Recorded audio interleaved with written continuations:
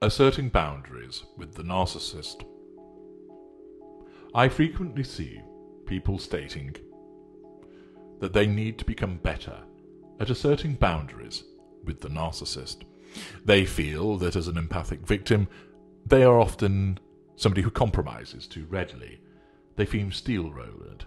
They act like the doormat. Listen to the video of the same name. They will talk about how they need to learn better assertion of their boundaries to enable them to handle the narcissist more effectively. Often people will say to me, HG, how can I become better at asserting boundaries with regard to the narcissist? Often I will see people claiming to be experts with regard to narcissism and narcissistic abuse, explaining to people this is how you deal with a narcissist. You need to assert your boundaries. They don't know what they're talking about. The simple fact is this. If you believe that you can succeed by asserting boundaries with a narcissist, you need to wake up, and you need to wake up pretty quickly. Because it isn't going to work. It is complete bollocks to think that you can assert boundaries with us. Why? We don't recognize them. We have a rampant sense of entitlement. We go where we want. We do what we want. We interact with whomsoever we choose, when we want to, and in a manner that suits us. Some of our kind will turn up uninvited to events. Some of our kind will enter your house without knocking first. Some of our kind will call you at 4 a.m. in the morning thinking there's nothing wrong in doing so.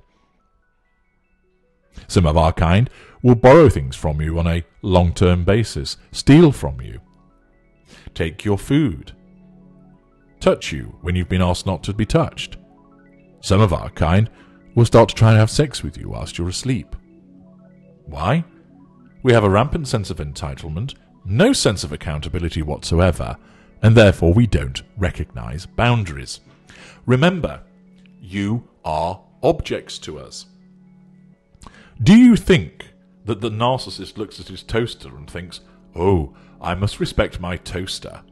I must ensure that I only use it with its permission. Of course he doesn't. He goes over, slams the bread in, pulls down the lever, waits a little while,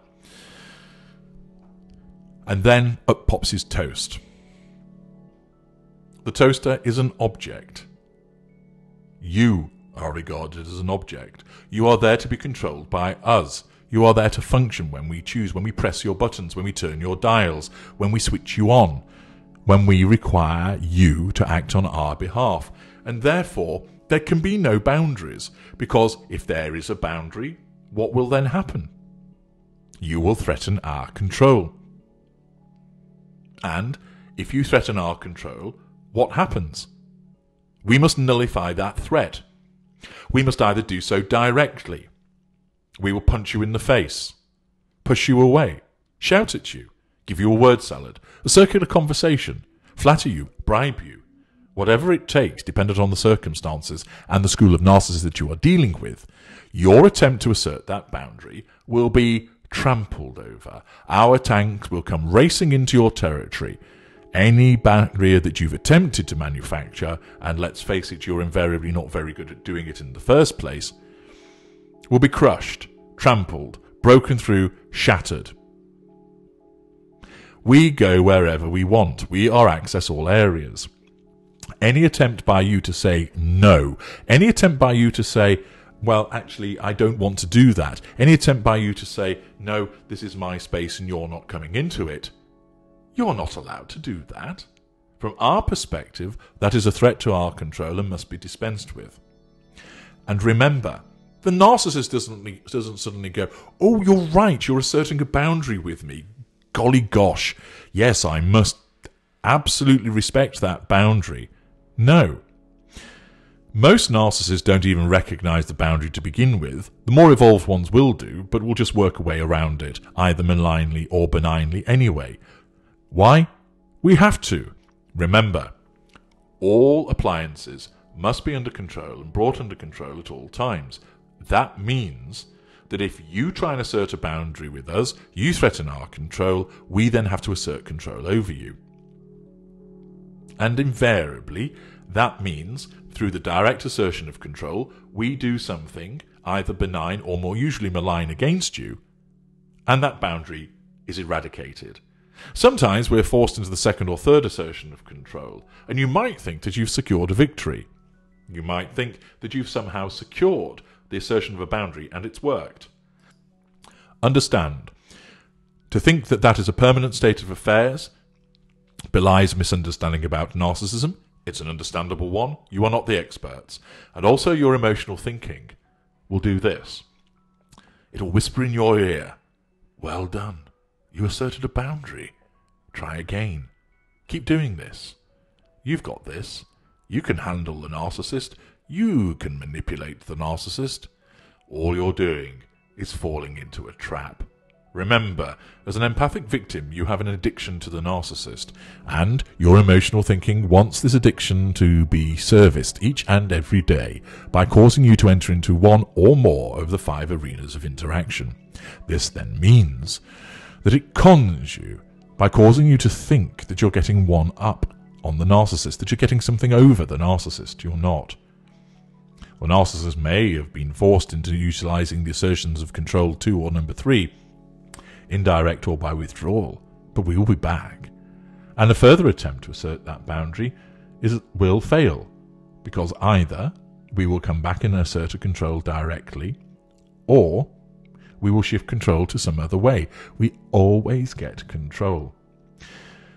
The difficulty for you also is this.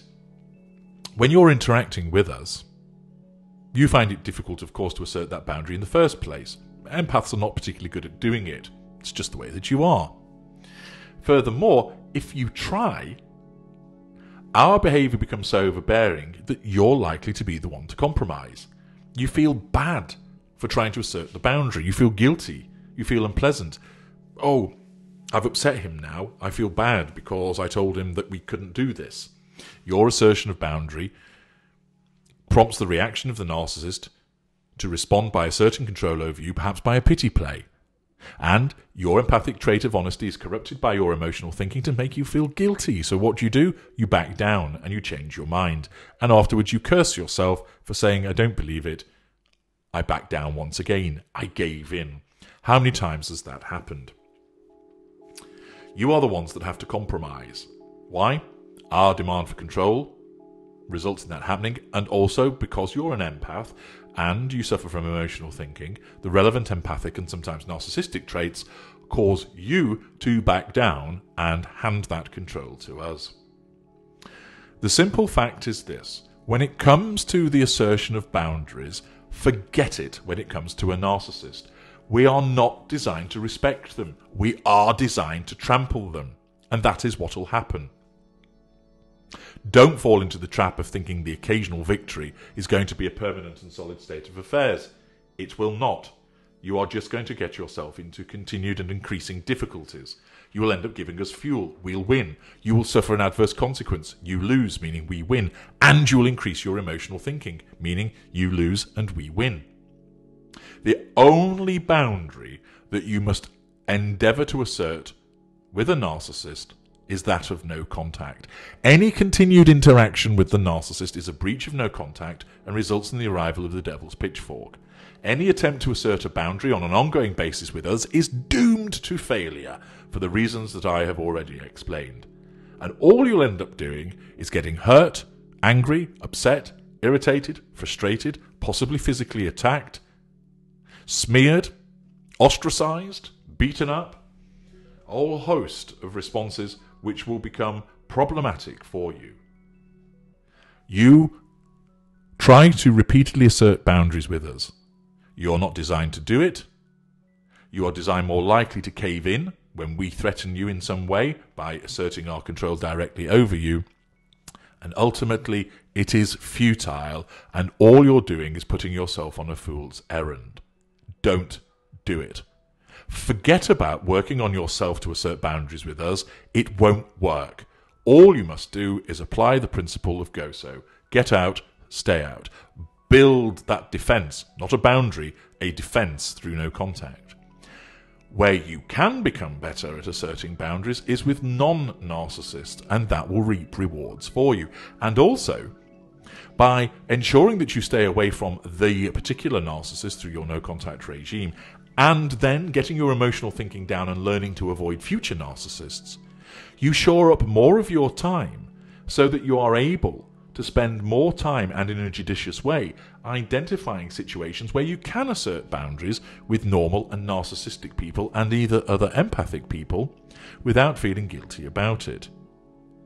That is where you assert boundaries with non narcissists, and you can learn to become better at that because those people have emotional empathy and therefore they will ultimately respect those boundaries. For us, forget it.